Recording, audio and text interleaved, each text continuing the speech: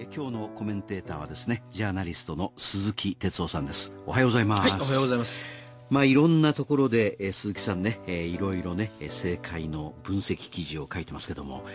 まあ見出しは自分でつけるんじゃねえんだよといつもおっしゃってますけども、えー サンデー毎日のつけた見出しが、はい。ポスト安倍封じ見え見えないか で今日はね、はいえー実はね、えー安倍さんの今回の改造人事っていうのはね非常にしたたかなものだと、えええええー党内のね、えーいわゆる、まあ、権力基盤というかそれを掌握する、まあ、非常に極めてですね、はい。計算され尽くしたものというのが鈴木さんの分析なんですよね。そうですね、あのまあ、安倍さんのはい。周りにいるベテラン議員とか、あのええ。まあ、お友達なんて言われてるあの、まあ、側近の方たちと話をすると、ですね、ええ。いや、確かに言われてみればそうだな、つまり今度の内閣改造っていうのは、とにかく支持率を上げるはいために、まあ、神戸を垂れてじゃないけども、ええ本当にね、あ反省、えーをあれして、頭下げたりしながら、しました。謙虚に謙虚に、うんそして地味に、そして、まあ、が閣僚経験者を揃えてと。そういうこう、まあ、まあ、ある種は守りの改造だなんて言った。はい。だけど実はよく見ると、ええしたたかにしっかり人事をやってるなってことなんですね。で、どの辺を象徴的なのは、ええ。やっぱり、来年の総裁選挙に安倍さんはやっぱり出るっていう、こう、ずっと、あの、はい。意思っていうか、見せてきましたよね。えで、3期9年やって、まあ憲法改正も含めていろいろやるんだと。え。でそのためにはそこへ向けてやっぱりこう自分がそこまで行ける流れを作んなきゃいけない。その時に2つ方法があるんですってと統治をしていくその組織をね。一つは全部イエスマンを置くあこれは当たり前ですよね。みんなイエスマンだからトップは反対でしょ、うん。もう一つはねライバルを同じだけつまりええポスト安倍を同じだけえ。抱えるんですって。はあ。つまり同じ勢力っていうかね。ええ。例えば派閥均衡でええ。全部の派閥に同じだけ与えるとかライバルをとにかくずらっと並べると中に、あ今回はそれですねまさにね、うんそうなんです。よ、うん。そうすると何が起きるかというと、えライバル同士ですからポスト安倍を狙ってるわけでみんな、えええそうすると一生懸命目立とうと思って仕事するじゃないですか。それぞれが。負けらんないと、うん。うん。ただ内閣全体の仕事っていうのはすごくレベル上がりますよ、はあはそれともう一つはやっぱ前情なわけですよ。安倍さんにあ次は君だよって言ってもらえるように、功績を上げてね、うんなるほどこれはまあ嫌な言い方すると、忠誠心を忠誠を競い合うようなことで、うんはいわかります。それで安倍さんはその上に乗っかってればもう全然安泰だはとこれ思い出しませんか？あ何ですか？いやかつてそういうことをやった人がいるじゃないですか。中曽根さんですよ。中曽根さん。安築宮。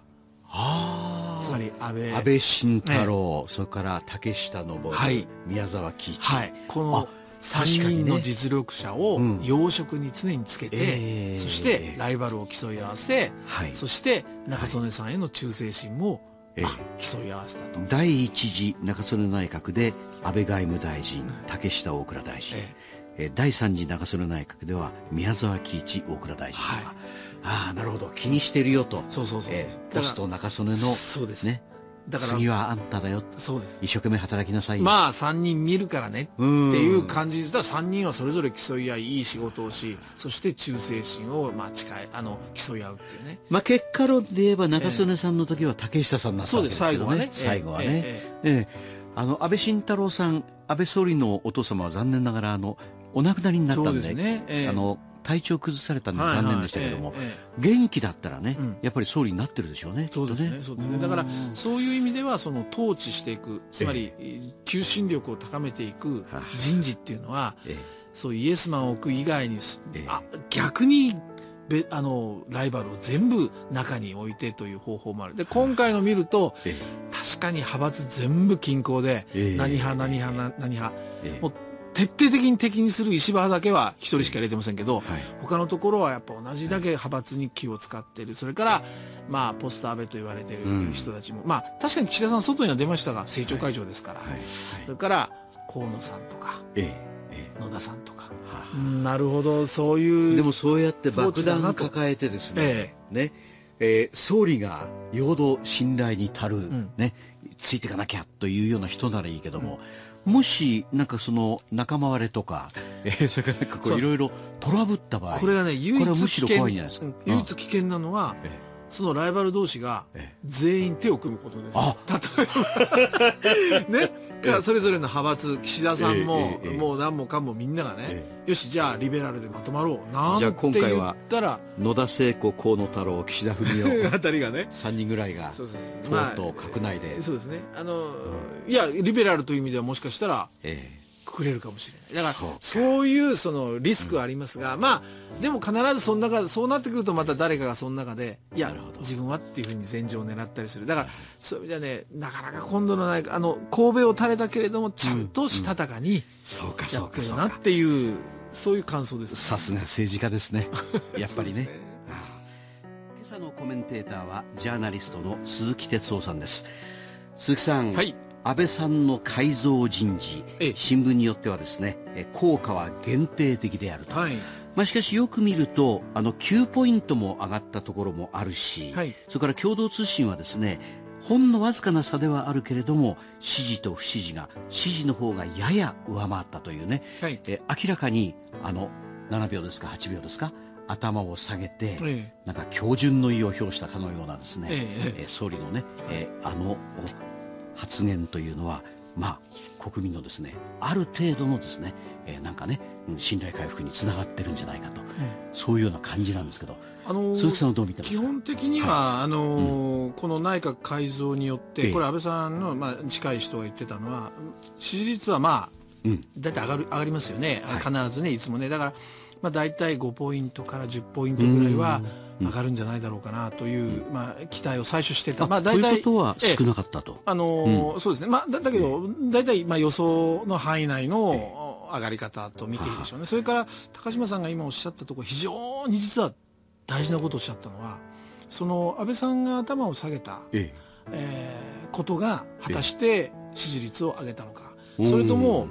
内閣改造の顔ぶれが支持率を上げたのか、あそうか。おそらくですね、うん顔ぶれが上げたんだと思うんですね。それは安定でありし、まあ、かかつての閣僚経験者だとか、結局木をてらったりええ。新人を入れたりそんなことをパフォーマンスをしませんとはい。しっかり仕事やっていきますということでずらっとこう並べたこの辺の重厚感っていうのかな。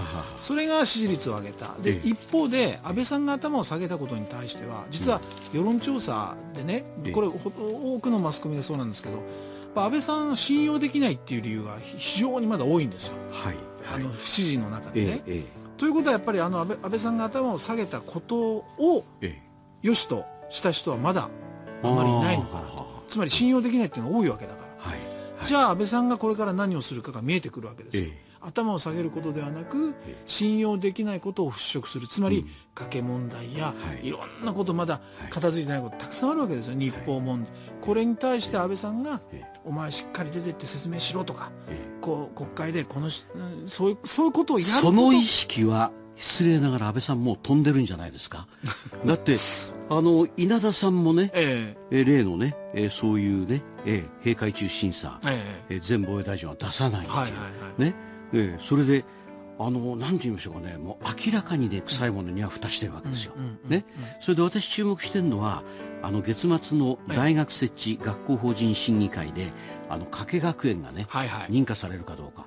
これ多分認められちゃうんじゃないかという気がするんですよね、ええ。それではっきり来年の、えー3月いっぱいにね、えーお尻が切ってあって、うん。4月開校したりなんしてね、うんなんだよ。安倍さんね、うん。疑われてたことが全部その通りじゃんというような、うんうん。そういう事態になるんじゃないかっていうちょっと心配してるんですけど、いやだから説明その辺どうですか？いやいやあの、う結局認められれば認められたでですね、えやっぱりあのいやまあたくさん疑問もあるのに、えそれからもう政府がそのし資料ですよね文章を残,、え残さなきゃいけないものを残してないとかそんなことも全部解決してないのにこれ認めちゃうのかよっていうえ当然議論になってね。人によってはあの財務省があれだけ問題になったのにね、うん。あの財務大臣はそのままじゃないかと、うん。で今日なんかは国税庁長官はね、記者会見しないっていうの。あの佐川さん。佐川さんはい、はい、国会であのとぼけたことずっと言ってた人、えええ知らい、ない知らないって言ってた人、ええだから全体的には森友の方ですけどね。ええそれは森友ですけどね、うんうんうんうん。だから森かけで,、はいはいで結局、うん。あの安倍さんはそれでもう終わったと、ん。でそういうふうに見てるんじゃないかと私は思ってる。いやだから、ん。だから安倍さんが信用できないっていう数字が圧倒的にまだ多いわけです、加計幸太郎さん絶対出さないしね、だから重厚なその内閣の顔ぶれはは、まあ、期待はするけれど認めるが安倍さん、うん。まだあなた指導力含めてね、うん。そこを解決してもらわなきゃってそれがこの世論調査の僕は一つの形だと思うんですね。だからそこは安倍さんが認識できるかどうか、ままさにこれからですよまだ。なるほど、はい。受け皿問題っていうのがありますがこの後はねそれについていろいろ伺います